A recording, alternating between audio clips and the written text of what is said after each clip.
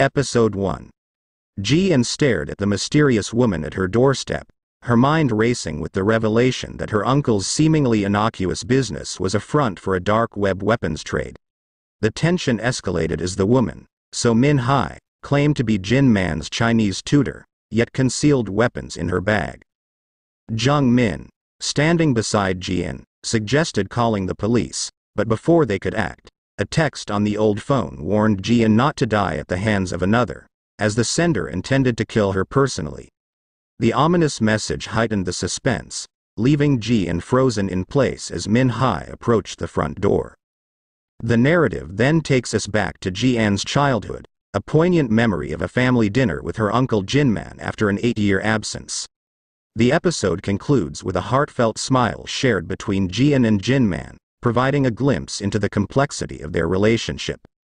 As the plot unfolds, Ji-in finds herself entangled in a dangerous web of secrets, discovering her uncle's involvement in a covert arms trade. The juxtaposition of past and present events adds depth to the story, revealing the intricate layers of Jin Man's life.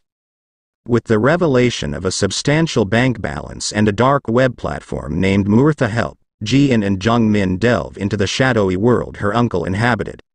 The suspense heightens with the arrival of the mysterious figure at the funeral, leaving the audience on the edge of their seats. The introduction of the twin brothers and Li Yong Han, coupled with the enigmatic figure smoking a cigarette, adds a layer of intrigue to the narrative. The complexities surrounding Jin Man's life become more apparent as his old friends discuss rumors of his involvement in the underworld. The emotional toll on Ji-in is palpable as she confronts the gruesome reality of her uncle's death, seeking solace in Jung Min's company.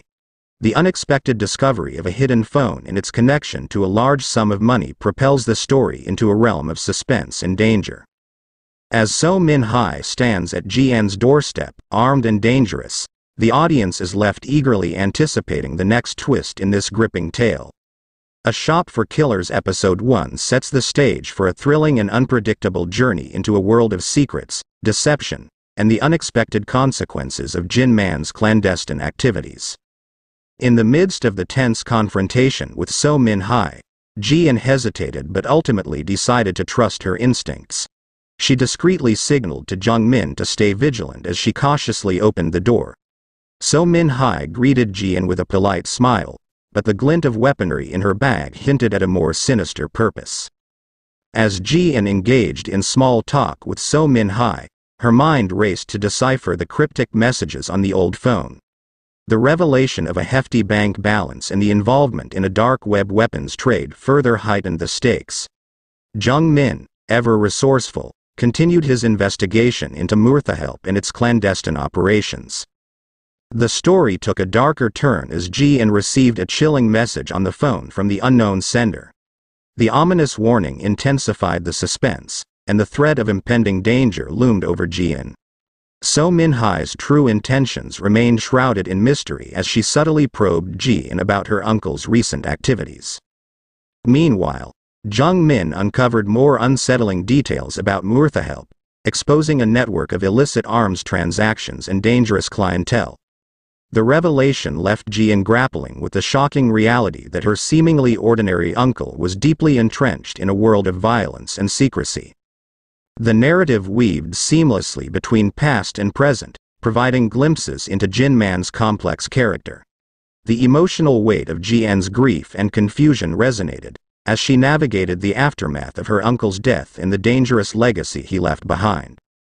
As tensions escalated, Ji-in decided to confront So Min Hai about the true nature of her connection to Jin Man.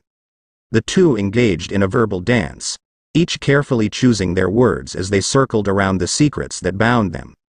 Jung Min, ever the ally, discreetly observed the unfolding drama, ready to act if the situation spiraled out of control. The episode concluded with a cliffhanger, leaving the audience on the edge of their seats, the enigmatic figure smoking a cigarette in the distance, coupled with the unresolved mysteries surrounding Jin Man's life and death, set the stage for an enthralling continuation of A Shop for Killers. As the story unfolded, Ji-in found herself entangled in a web of deception, danger, and the shadows of her uncle's mysterious past. The intricate plot and well-developed characters promised a riveting journey into the heart of darkness, where secrets threatened to unravel with each passing moment. The suspenseful atmosphere lingered, leaving viewers eagerly anticipating the next chapter in this gripping tale of intrigue and betrayal. A Shop for Killers episode 2 inches opens with Min Hai driving to Jin Man's house and deploying drones. The narrative then shifts to Ji En's grandmother's funeral in the past, revealing suspicions about her death. Ji En's father dismisses it as illness. Ji En, accompanied by Jin Man, encounters a sinister sniper at the funeral.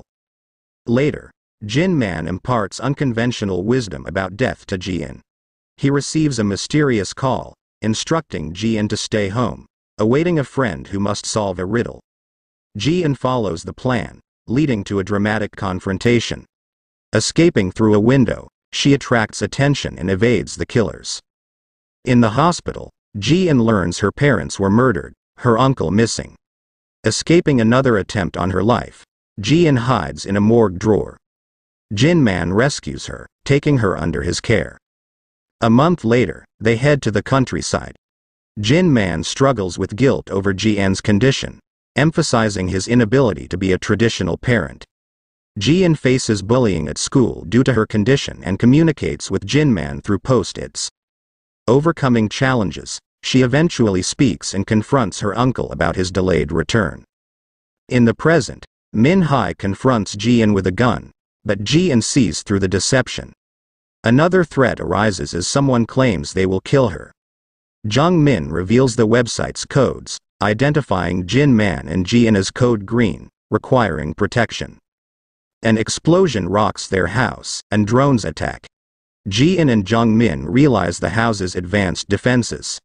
They fend off the assault, discovering an explosive-filled chip in the glass. Ji-in, armed with a slingshot, defeats the drones, revealing the extent of her capabilities. An epilogue introduces Mr. Kim, the boss, removing his chip. Seong Jo, the sniper, announces a bonus for capturing Ji-in. The group heads towards Ji En's impending danger, setting the stage for the next episode of A Shop for Killers.